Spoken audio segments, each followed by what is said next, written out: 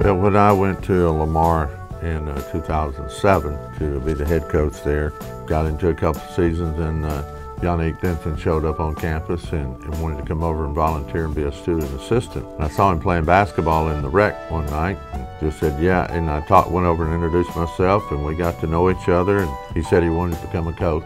He said he's very interested in that. And so I got him to get a male practice squad team together for me. And that malpractice squad was very vital to us as we got better as a team at Lamar University. And uh, Yannick, I call him Yak, he helped me do that for four years and helped us uh, win more ball games than they've ever won at Lamar during that time frame. So very definite asset as we moved that program forward. Interesting story. I was actually in the rec playing pickup, um, playing against some of the basketball girls, and they were looking for male practice squad players. And me having the skill, I guess, that I had, um, some of them asked me, uh, "Did you want to be a part of a male practice squad?" And I was like, "Sure." You know, anything to help someone get better at the game.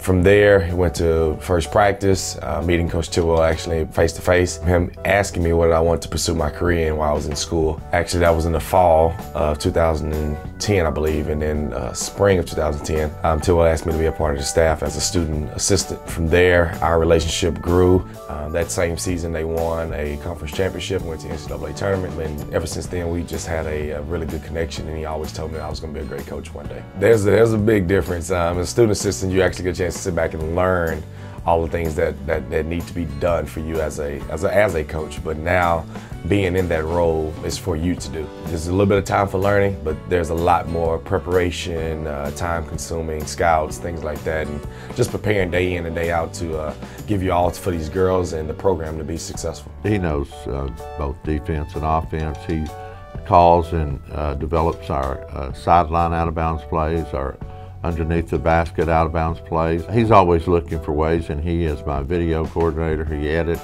a lot of scouting reports and he just does an excellent job for me and he's really stepped up well, uh, Tidwell's always been a great mentor of mine. Um, he's given me lots of tips and things as I grew in my coaching career. Um, he actually helped me get the Westbury Christian assistant job that I had and also the Legacy Christian uh, job that I had. And uh, he just always told me to, you know, to get at this level, you need a little bit of experience. I got that. I've been to three state, state championships. Um, my last one I won before I left the high school ranks. I mean, right after that, Tidwell always kept in touch and we always would have, you know, random conversations. And one of our random conversations actually led to him being interested in me coming to UTRGV as an assistant.